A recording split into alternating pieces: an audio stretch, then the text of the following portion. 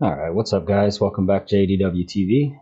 Uh, I'm going to show you today how to undervolt your system and to undervolt your graphics card so you can try and get your temperatures down and within a reasonable range. Uh, that's especially important for these HP Omens because we all know that they run just way too hot. You know, it's not even acceptable.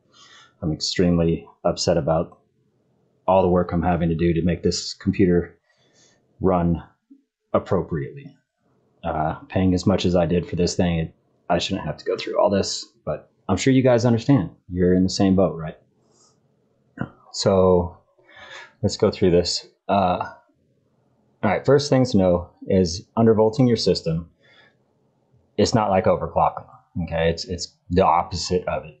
Basically, uh, you don't have to worry about hurting anything. You're not going to burn your CPU or destroy your graphics card or anything like that. The worst worst thing that'll happen is your computer will simply shut down and say, "Oh, sorry, there's a problem." You restart it. It'll restart at the factory voltage settings. You're good to go. You can adjust it from there. So you're not going to hurt anything. Don't be scared. This is safe. Unlike overclocking, you can fry your chip. This you cannot. You'll be good. All right. so for us uh, HP Omen users, simply open up your Omen Gaming Hub, go to your overclocking. All of you are going to be set on default, I'm sure, unless you overclocked it already with intelligent or custom or something. Uh, if you've gone that far and your temperatures are fine, you probably don't need to under undervolt. Then again, I personally believe, and this is my opinion, undervolting your computer is the same as optimizing your entire system. Okay, everything we do on computers, gaming, all that stuff, it, it runs as well as it does because it's optimized to run well like that. Okay, if if we're pushing, you know, an extra a bolt through our system when it that it doesn't need, that is not optimized. That is that is in fact bad for your system. You're you're overheating your system. You're pushing too much power, causing degradation. It's not worth it. You you want that balance, right? You want your computer optimized to run as efficiently as possible with the least amount of power. So you, what we're going to do here today is make sure that it runs just as good if not better in the case of the graphics card, with less power. Okay, you, you don't want to clock it down. You want to make sure that it stays the exact same efficiency with using less power. Okay, that's the goal. All right, so we'll be using two programs today. Uh, one for the strict HP Omen users. Going to use your Omen Gaming Hub. This will be really easy for you. Uh, if you're using another computer, you know, that's not an HP Omen. You can use the Intel Extreme Tuning. Just go, you know, Google it, and download it. If you would like to use the Intel Extreme Tuning uh, on a HP Omen and don't have the same type of one I do, where you can access your memory and all everything you need, I have a video on my channel. Please go look. Uh, I don't have a whole lot of videos up yet, so it'll be easy to find for you. But uh, it walks you through how to download all of this very easily with without trouble. All right, so first thing we're going to do, um, if you look here on yours for the Turbo Boost Short Power Max, yours will be set all the way up to 250. Okay. If you have the, this is assuming you have the same gra- uh, CPU I do, which is the Intel 10850K. All right if you have another CPU, I, I, don't know what these are going to be set at for you if yours is Intel. If you have a, a Ryzen CPU, you can use Ryzen Master to do all this kind of stuff. Uh, same thing. You can go right into your BIOS if you don't have an HP Omen and you can actually access your system. Use your BIOS. It's it's much better than all of this. Um, all right. So first thing, this is a lot of power for your little chip to be having pushed through it. I would not touch this until you absolutely have to. See if you can get your power down, your temperatures down by just doing the core voltage offset. Okay, if you can get your temperatures down with just doing this, then you're fine. You don't have to do it. I personally find dropping this here. Does not seem to affect any of my uh, rendering, doesn't seem to affect any benchmarks. So I drop it down because it makes a huge difference for me and it still has the same thing. Test it on yours, see what works good for you. Start 25 down at a time. Do not drop it down below 170 for your turbo boost max. It'll bring this down. Then your power, your efficiency will drop. Then the ability of your CPU will go down. You don't want that. Uh, I wouldn't mess with the turbo boost power time window. I'd leave that same. The biggest biggest thing you're going to work with first is just this core voltage offset. Okay, it's going to start off where it's just going to be zero zero zero. All you got to do is come up here, click down to the one time. Then you're going to want to get you some kind of stress test uh, for your CPU. If you if you have this, uh, this has got a test on it somewhere. Let me see. Basic tuning. Here we go. You can run a benchmark, test it out, see how it's working, see if the power is good.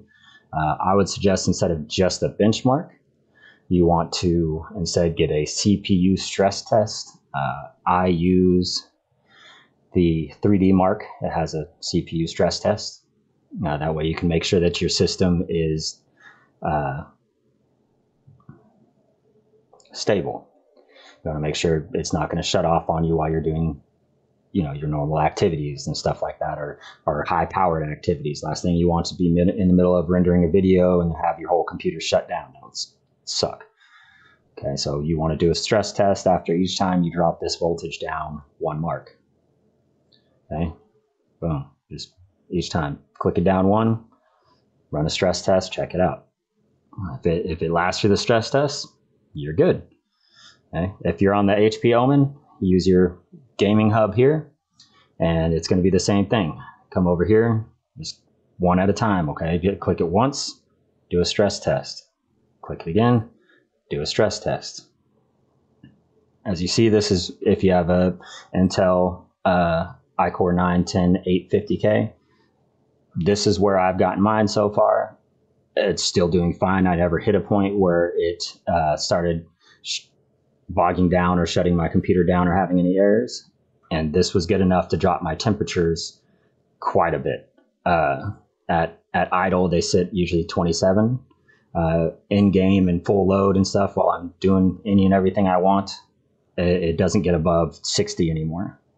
So it's great temperatures. I'm very happy with that while maintaining 100% of my power. Okay, all, all performance is still there. It's still hitting the max clock speed it's supposed to. It's still getting up to the 5.1 uh, megahertz during full loads and when it's pushing. You know, so that's great. That's what you want. This is the easy part for you guys. Okay, one at a time. Do your do your stress test. Come back. Do it again. Stress test. If you have the 10850K, you're probably good bringing it down to where I am, starting from there because it's going to be similar CPUs uh, like I said, just one at a time. You know, you're gonna you're gonna start at default, click back once. If if you want to live on the edge, feel exciting, you know, you go two at a time. Go to ten, do a stress test. Twenty, do a stress test. Thirty, do a stress test. You know, go like that. Uh, okay, so after you got that part done, nice and easy, hit apply. That'll that'll take care of all that for you. It'll accept your voltage, uh, core voltage offset. If you're in the Intel Extreme Tuning, just do the same thing. You change all, change that, hit apply. Okay, now if you do all of those things and you have the uh, Intel iCore 9 10850K, and you and you see that your temperature still seem to be spiking pretty hard, you can simply come over here to the Turbo Boost Short Power Max and drop it down some. Uh, you know, go 25 watts at a time. Do 225. Check it from there. This this isn't gonna do anything as far as stability. Okay, you could you could turn this entire thing off. Your computer will still run fine. You will lose power, it, or uh, efficiency, I guess. It, it won't run as fast as good, but it will not make it be unstable. Okay, so you can take this and move it wherever you want. It's not going to hurt anything. All it's going to do is lower the max wattage, push through your system in a short boost. Okay.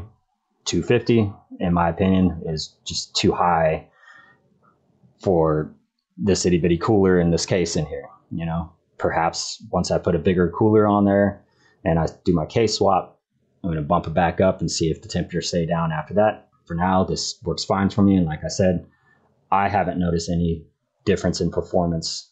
Uh, all of my stuff is still rendering the same. My benchmarks still hit the same. So this works for me. 175. Okay. Add this up. Put all that back where it was. And there you go. That's how you undervolt your CPU. Don't be scared. You're not going to hurt anything. Just the, again, core voltage offset. That's what you want. You do not want core voltage. That will change the voltage to a base level period. You, with the core voltage offset, your computer still has the ability to, to change its, its uh, voltage system so it can it can shoot more or less depending on what it's doing. And the core voltage offset, what it'll do is bring the whole thing down like this while it's still allowing the voltage to move up and down. If you do the straight core voltage and just change that, it'll lock it in one place and won't adjust it. You don't want that. You want to do the core voltage offset. It's it's safer, it's better, more reliable. Stick with that. All right. Uh, if you have any questions about the CPU undervolting, let me know you know, like like you see, I'll answer everybody's questions on there. I'm happy, I got nothing better to do. It's pandemic, man. We're all stuck at home. I, I I like the interaction. So let me know. Happy to help you out.